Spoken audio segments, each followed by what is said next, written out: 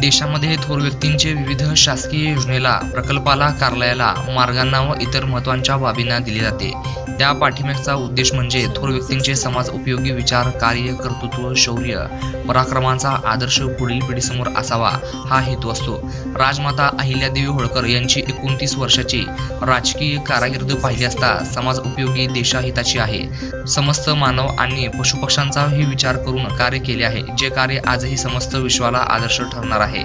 अशा परिस्थितीमध्ये पुण्यश्लोक अहिल्यादेवी होळकर यांचा शिवलिंगधारी पुतळा बसवणे म्हणजे पुण्यश्लोक अहिल्यादेवी होळकर यांची केवळ आध्यात्मिक प्रतिमा भारतीय समाजासमोर मांडली जाईल. विद्यापीठाने स्मारक समितीने आणि राज्य सरकारने जनभावनेचा आदर करीत विद्यापीठामध्ये पुण्यश्लोक अहिल्यादेवी होळकर यांचा अश्वारूढ पुतळा उभा करावा अशी विनंती होळकर घराण्यातले वंशज महाराज भूषणसिंह होळकर यांनी पत्रकार परिषदेत केली.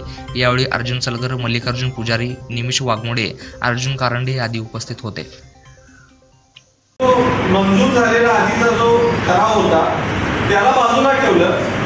आणि अचानक मध्येच एक पिंडधारी बाळासाहेबांचा जो पुतळा आपण पाहतो त्याचा प्रस्ताव पुढे ढकलला. आणि ह्याच्यामध्ये ह्यांचा जो हेतू आहे तो जो मला दिसतो तो स्पष्ट आहे. की कसं तरी करून संभ्रम निर्माण करायचे समाजामध्ये जनतेमध्ये काहीतरी वाद पेटवून द्यायचा. एक ग्रुप म्हणायचा की बाबा मला अश्वरून पुतळा पाहिजे आणि एका ग्रुपला म्हणायला लावायचं मला पिंड झाली आणि ह्याच्यातून पळवाट काढायची. कारण या शासनाला बाळासाहेबांच्या बद्दल आत्मीयताच नाही. आज त्यांचे गड किल्ले वेगवेगळी स्मारकं दुर्लक्षित आहेत त्यांच्याकडे लक्ष नाही. आणि हे पुतळा काय उभारणार आहे? पुतळ्यासाठी गेल्या एक वर्षापासून आम्ही निधीसाठी धडपडतोय निधी कधी उपलब्ध करून दिलेला नाही. आणि आज हा पिंडधारी पुतळा की अश्वारूढ पुतळा असा वाद पेटवून द्यायचा समाजामध्ये आपापसात भांडणं लावायची दोन गटातटांमध्ये आणि आपला स्वार्थ साधून घ्यायचा कार्यक्रम इथं राबवलेला आहे. दुसरं काही नाही.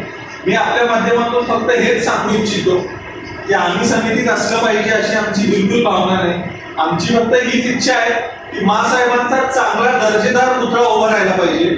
आणि आमची इच्छा असं मी म्हणत असताना इथं मी सबंध नागरिकांचा महाराष्ट्रातल्या देशातल्या अहिल्यादेवींच्यावर प्रेम करणाऱ्या सगळ्या नागरिकांचा एक प्रतिनिधी म्हणून बोलतोय. माझ्या माध्यमातून मी त्यांची भावना आपल्यासमोर मांडतोय.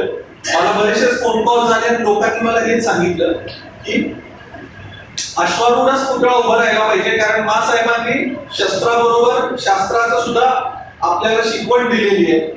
आणि त्यांचा जर अश्वारूढ पुतळा उभारला तर सगळ्यांसाठी तो एक आदर्श ठरेल.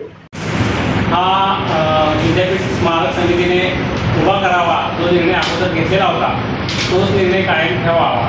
याकरिता आपली भूमिका मांडण्यासाठी आज महाराज अ, भूषणसिंह होळकर आज आपल्यासमोर